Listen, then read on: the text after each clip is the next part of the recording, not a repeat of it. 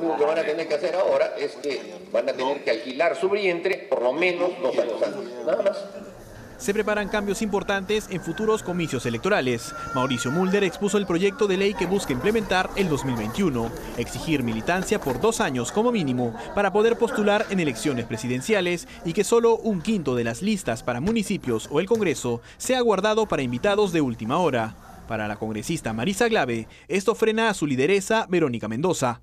Entonces lo que le conviene es que no participen nuevas personas en el proceso electoral. Entonces, si es de conveniencia, Presidenta, es evidente, él tiene un interés de bloquear y yo tengo un interés de abrir. Y la idea no es cerrar. Hay 24 organizaciones políticas inscritas, Presidenta, y varias de ellas estarían deseosas de contar con la participación de la congresista Glave, de los integrantes de Nuevo Perú.